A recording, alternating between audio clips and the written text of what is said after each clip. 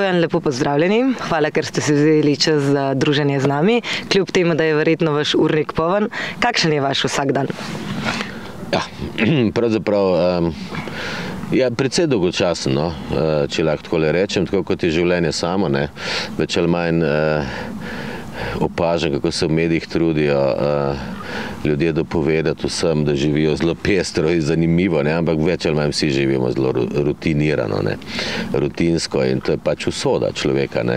Lahko je pa fino, če se znajdeš v tej rutini, nekako tako, da se tudi zabavaš. Moja glavna preokupacija je seveda moja družina, tu, če se le da potrošim in nekako največ časa posvetim temu, pol je seveda delo, druga stvar, ostalo pa pol, kar ostane, pa še za kakšne za kakšne posebnosti, ki so pa precej redke. No. Ampak to je v glavnem. Služba, ki jo neizmerno ljubim, in pa družina, ki jo imam pa še raje od vsega na svetu. Odlično. V svoji bogati karieri ste se predstavili številnimi liki. Um, bi morda lahko izpostavili enega, ki vas najbolj pooseblja?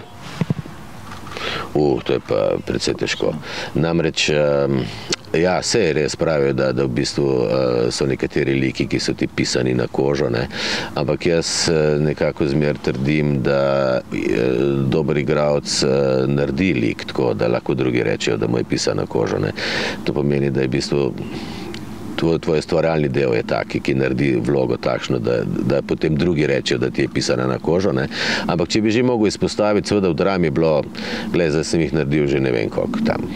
90, 100, ne vem, pravzaprav sploh ne vem, koliko predstav sem naredil v drami, v gledališču. Je, ampak eh, res je pa, da bi mogoče tako skozi življenje, če gledam izpostavil, tri, štiri, ki so pa res, res, res eh, mi veliko pomenile. Ne. To je bilo čakajoč Godoja, naprimer, eh, je ena taka predstava, ki, ki, ki je absolutno ena prvih v moji, v, v moji top listine. Potem Idiot od Dostojevskega, ki smo ga delali, je bila perfektna predstava, v kateri sem užival, Disney razparač. Veš, kdo si teh predstavno? Ker sem se jaz v bistvu, odvisno v katerem obdobju sem se pač znašel, ne, mi je tista takrat pač največ pomenila, ne, da v bistvu se ta nabor mal širi. Zagotovo mi je bil strašno, no, to je pa že, to, to bi lahko rekli, da je pa najbolj osebna zadeva, je pa bil ta zmago Batina, ki sva ga z Markotom Nabršnikom nekako si izmislila in sva ga pol peljala, ta je bil pa precej uh, oseben lik. No. Če vas malo izzovem, gledališče ali televizija? Uh, ja, gledališče, gledališče. sigurno. Ja. Mislim, gledališče je v bistvu tisto osnovno. Tam, uh, veš, gledališče je ena stvar, ki, ki, ki je meni dragocena, da se v bistvu v te stvari, tem stvarim res posvetiš, kar delaš. Ne? Da si vzameš veliko časa za vsak korak posebej. Ne? Televizija rada pohiteva, nima dovolj časa, nikoli, moraš nekako že priti z izdelanimi, ne, ne pogovarjamo se med sabo toliko, kot se v gledališču. Ne? Ker ti moraš, da gledališke vaje za eno predstavo trajajo tam dva meseca pa pol do tri, v tem času ti v bistvu skoraj en mesec sam bereš. Samo bereš, tega si v nobenem filmu nikoli nismo privoščili in nobeni drugi stvari, ne, da bi se sam bereš in se pod neke podarke delaš, pol še le greš v mizan sceno, pol še le greš za res odnose in tako da imaš časno in uh, to je najbolj poglobljeno delo in to delamo tudi najrajšno. Na TV ekranih vas trenutno spremljamo v priljubljeni seriji Jašev. Ja. Zdaj ne smemo vprašati, če vam je vloga pisana na kožo, ampak zdi se mi, da ste jo lepo posvojili. Kaj vi pravite na to? E, ja, Mislim, da se te stvari so, nočem zdaj v bistvu uh, reči, uh, precej enostavne, ampak vendarle so um, bolj enostavne od, od, gledaliških, ne, od gledaliških likov, gledaliških predstav. Ne. V bistvu moraš ujeti en simpatičen lik, uh, ki ima nek svoj karakter, uh, ki je lahko tudi popolnoma zmišljen, ne rabi biti psihološko strašno poglobljen, ne, ker se to ne zahteva. In, um, je pa v bistvu tudi to, no, da moram reči, da veš, ne glede na to, koliko si dober ali kakorkoli uh, kot igralec ali koliko te ljudje cenijo, uh, v tem poklicu moraš imeti srečo, ne, ne glede na to, kdo si. Ne. In moram reči, da tu pa sem jaz kar v življenju, skozi svojo kariero sem kar velik sreče. Ne. Moj prvi film je bil Babica gre na jug, naprimer, ki je bil takrat potem en tak boom in je še danes, še danes je tako postal kot en kultni slovenski film, prvi slovenski film. Ne. Uh, že to je sreča, sreča je tudi, da sem delal, kar se tiče teh televizij televizijskih stvari, da sem bil pri, pri, pri kliniki, ne, naši mali kliniki, ta je bila tudi postala kultna in večna za, za, za, za ljudi pri nas. Zdaj sem v tem šefu, ki je spet en tak bom. Skratka, to je sreča. Ne. To bi se si ne more razmišljati, lahko bi kdorkoli drug na mene to igral in bi naredil zagotovo dobro, ampak gled. Ljudje ti se zberejo in če imaš to srečo, jih ne bereš nekaj v življenju in pol ti ljudje poznajo in pol si ti srečen, ker si jim dal to, kar si želijo. če ostanemo še malo v duhu, ja, šefa, kakšen je vaš odnos do kulinarike? Ja, uh, Mislim, moj odnos do kulinarike, gledaj, tudi to se sprehaja. Gledaj, jaz ti ne morem povedati. Zdaj sem že toliko življenja preživel, da vidim, da so vse stvari minljive in hkrati, da se na novo rojevajo neke nove. Ne. Jaz sem se zelo velik, mi smo tudi to, je naprimer ena od teh sreč, ki smo imeli z Gregorjem Pakovičem, smo imeli eno prvih eh, kuharskih oddaj, ki so bile ful popularne takrat na televiziji, ne. tisti čali za čimp, ker smo vzganjali te oslerije, pa vse živo, kar smo se spomnili. Veš, in, in takrat sem se v bistvu res malo okužil s kulinariko in sem potem dolg časa, do, mislim, še zdaj rad kuham in kuham in znam kuhati. Ne?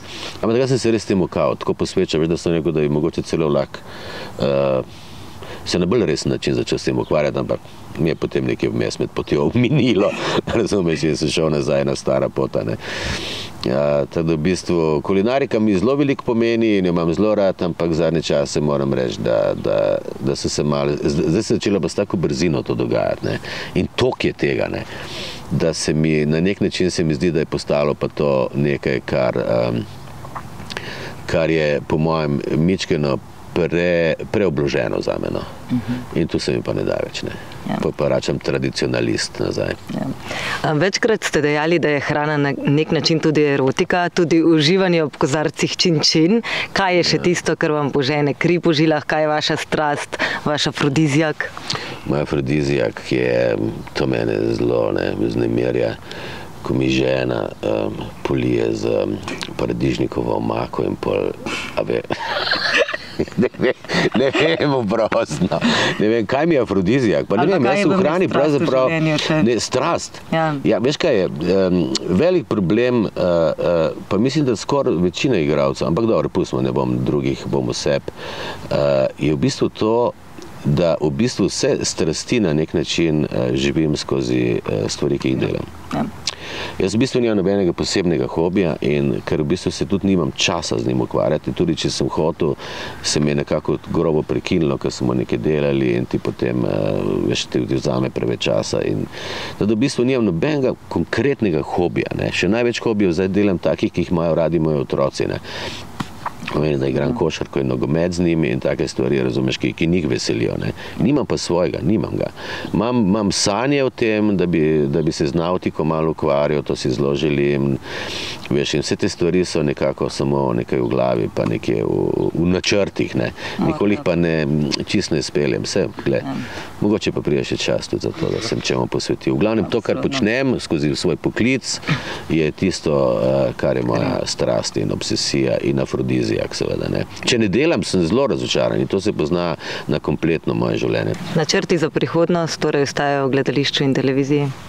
Uh, pa ja, no, v bistvu načrt, največji načrt za, prihodnost je, da začnem toliko delati na sebi, da ne bom izpadel iz tega kolesja.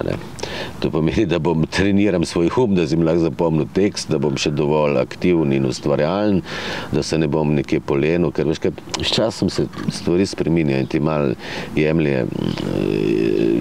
Veš, ni več te energije, kot je bilo včasih. Je drugačna, ampak ni več te. Ne.